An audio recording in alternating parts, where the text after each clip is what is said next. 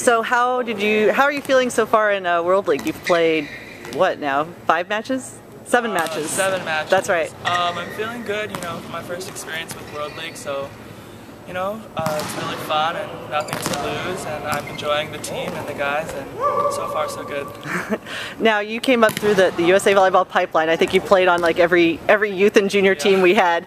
Did that experience prepare you for this at all? Uh, maybe a little bit. You know, you learn that you have to represent the USA really well, and wearing that jersey is really special. So I think it does prepare you a little bit, but this is just a whole other step in, in my experience. So I'm just learning along the way.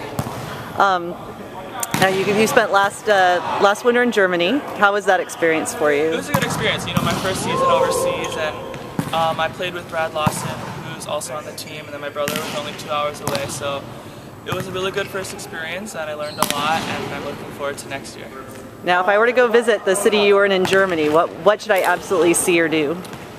Oh goodness, it was really small town, not much to do to be honest. Um, the city Leipzig is about 45 minutes away from where I was, so that was a nice town with a lot of history, a lot of musical history, which was really cool. So, if there, what's one thing I should know about Erik Shoji to know to know a lot about you? Um,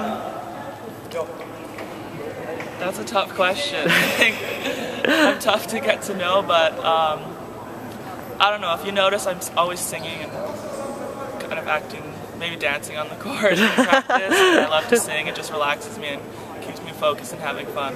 Cool.